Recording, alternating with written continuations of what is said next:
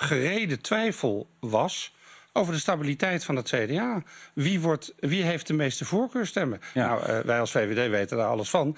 Met die voorkeurstemmen en mevrouw Verdonk, dat Eh, levert ja. ja. donder op. Ja. Dus het is niet zo raar Nee. om daar gewoon over te praten. Ja, maar goed, oké, dat was misschien niet zo raar. Eh, wat in ieder geval wel raar wordt gevonden door de andere partij... is dat je daar niet eerlijk en open over bent.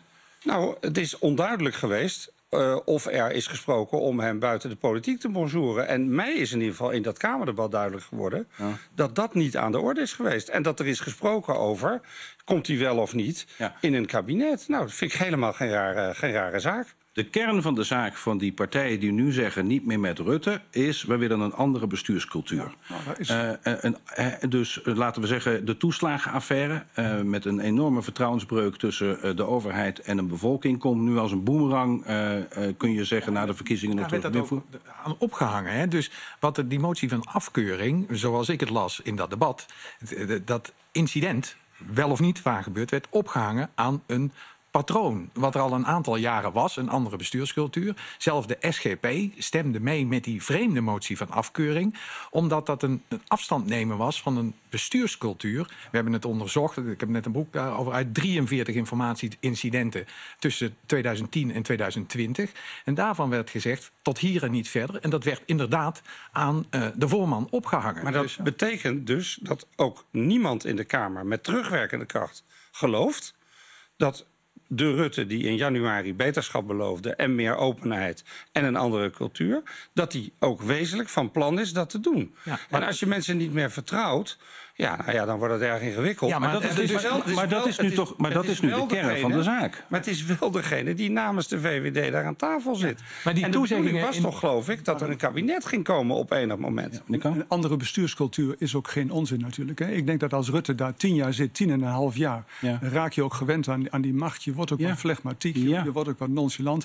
Dus het is ook goed dat dat debat eh, geweest is, denk ik. Vindt u ook dat de bestuurscultuur binnen de VVD moet veranderen? Ik vind dat in algemene zin dat het goed is om, eh, om een open bestuurscultuur eh, te hebben. Dus ook binnen vind- de VVD? En, tuurlijk. En ik vind ook dat je moet zorgen dat de Kamer, de volksvertegenwoordiging, in een hele sterke positie is. Misschien in een sterkere positie. En ik vind het heel verstandig dat die andere, dat die andere bestuurscultuur, dat, die, dat er over nagedacht wordt, dat er afspraken over gemaakt worden. Ja. En dat er verbeteringen komen, ook eh, door Rutte. Klaas Dijkhoff zei in oktober 2020 eh, in een interview... eh, het risico van hier te lang zitten is dat je gaat denken dat eh, wat voor de partij goed is, ook goed is voor de politiek. En dat is niet zo, het is andersom. Wij zijn clubverliefd. Ja, maar dat is toch totaal niet van toepassing op Rutte. Die heeft toch tien en een half jaar lang heeft hij alle mensen bij elkaar gehouden door ze, door ze persoonlijke aandacht te geven, door samen met ze tot oplossingen te komen. Hij heeft, hij heeft de boel bij elkaar gehouden en tot resultaten eh, gebracht. Dus het is niet zo dat hij maar het, het, het VVD-programma probeert er doorheen te rammen. Hij probeert recht te doen aan degenen die in het kabinet zitten en die ook eh, samen succesvol te laten zijn. Maar sterker nog, ik heb me behoorlijk geërgerd in de afgelopen paar jaar aan de manier waarop de ChristenUnie, een relatief kleine partij met vijf zetels, Ja. Werd behandeld alsof ze net zo groot was als de drie andere politieke partijen die de coalitie vormden. Louter en alleen omdat zij in 2017 de puzzel completeerden. Ja. Nou, dat, Maar zo werkt het toch? nou, ik vind dat er, als je bij bijvoorbeeld... Een, gaan we aan Pia Dijkstra vragen of die daar zo blij mee was... met de manier waarop de ChristenUnie alle Nee, andersom ook niet hoor trouwens. Nee, maar goed, over, die, over die, die, dat wetsvoorstel over dat leven zijnde, Ja. bijvoorbeeld. Ja. En er werd op een gegeven moment regelmatig werd er besloten... alsof er in dat kabinet twee partijen waren... langs de ouderwetse links-rechtslijn. Ja. Hè, dus de ChristenUnie Ja. en D66.